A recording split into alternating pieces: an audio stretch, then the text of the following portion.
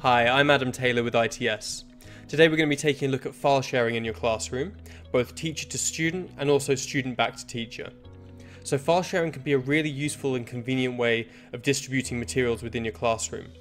Instead of printing things out and handing them out to your students, you can simply send a PDF to them. This is also great for things like materials for project work and ensures that you never have to print anything else out in your class again. Similarly, collecting files back from your students is fantastic for things like homework collection or they want to send you something that they've just worked on or finished. In this video we'll look at how to do both. So to send a file out to the class, we just want to go up to the top and click Files. We can then select the file we want to send out to our students. In this instance, I'll send out our homework. Now by default, LanSchool will select the default directory of C LAN files. If we select Special Folder, you'll also have the option of sending this to their desktop or to My Documents. Let's send it to My Documents. We now click Send Now, and the file is sent.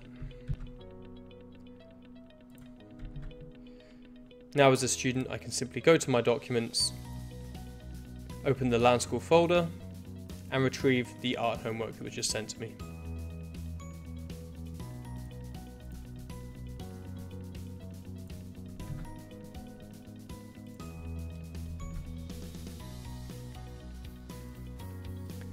So one thing that file sharing can be really useful for is sending out an incomplete piece of work or a template, allowing the students to complete it and then recording the saved files back with the changes intact.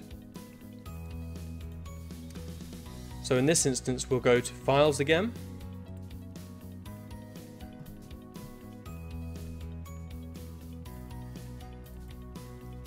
select a form, and again we'll send it out to My Documents.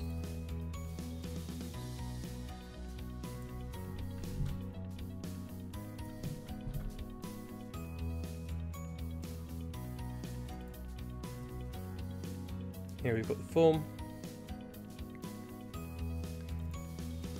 And now I can just fill this out.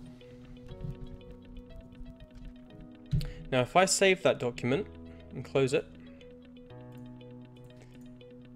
now as a teacher I can go to Files again and select Collect Files.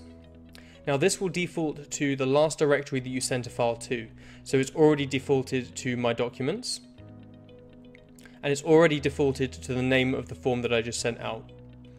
So nothing needs to be changed here. Simply click collect files. They've been received back. Now if I go into my documents, I've got the name of the three students here and their machines. So I can open up the form.